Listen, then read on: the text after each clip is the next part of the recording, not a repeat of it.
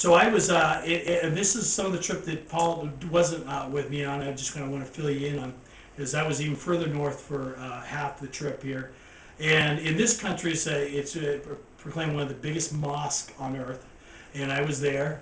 And uh, it, this country is uh, over 30 million, and there's probably a two to three uh, thousand believers is all.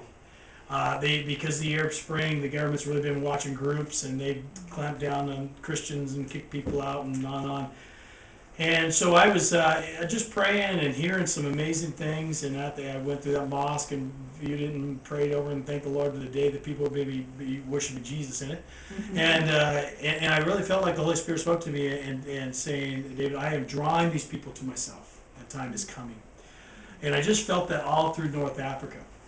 And I was able to reflect again on what God is doing, seeing something very unique. I mean, again, we're in a time, consider, the most Muslims have ever responded to Christ. But I think we've only seen the, ice, uh, uh, the tip of the iceberg. Ten years ago, before that, all those countries uh, were dictatorships. By the way, I'm about to come up with an article out there this week. I'm gonna write, I've written on this, and you'll see it come on an email. If you don't get our email updates, please register yourself on our website because this is what, the, what I did the article on is the um, Arab Spring uh, it, with a question mark. Uh, when is the Arab summer soul harvest? And what I saw, and I saw this in all North Africa, talking to Muslims, talking to the Muslim background believers.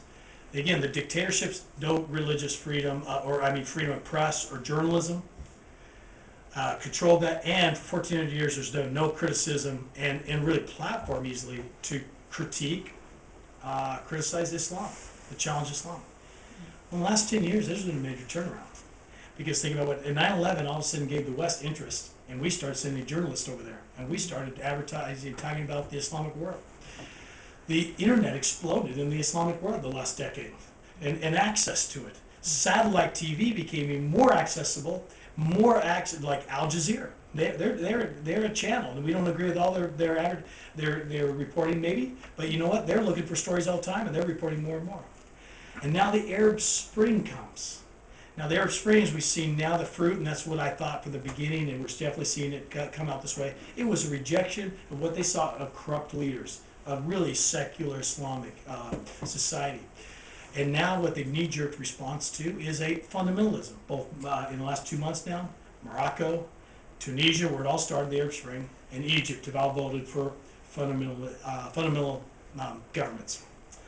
And so I, I- and even Isaiah Isaiah 19, uh, 19:4 says that it says the Lord God, I will turn them over to a hard master.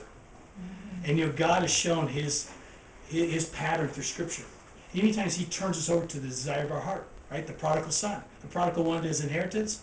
Did the father stop him from that? Here, son, have it, because I don't care about my inheritance. What I want is your heart. Mm-hmm. And so God's, I see, turning the Islamic world over to Islam so that they can no longer have this idea of the utopia of Islam. Because in the past, they always thought it was utopia. They thought if they really did it the way Allah wanted and in the Quran, it'd be a perfect society. Mm-hmm. But now they're beginning to experience it's not that way. And I talked to Muslims who said, wow, Islam's really having some serious problems. In this Arab Spring, he said, Muslims are killing Muslims. And this one uh, waiter told me, he said, you know, I've seen you Christians, uh, and I and I've seen how you love one another, and, and I because I shared with him that's the reason I was there because of the love of God that put in uh, me to come here, and he, and I shared with him how ultimately the end of Scripture is love God, love others, and he was profoundly moved by that. Um, you know, this is a new I think opportunity within North Africa like never before. So while the outside of Islam looks fierce and it looks mighty and it looks like, wow, can we ever impact these people? You know what? God loves the impossible, Amen. right? Because we know God loves good stories. Mm-hmm. And God's making a great story, and He's allowing all of us to have a part. And to simply come beside the witnesses, the martyrs of bold faith and love, who are already there.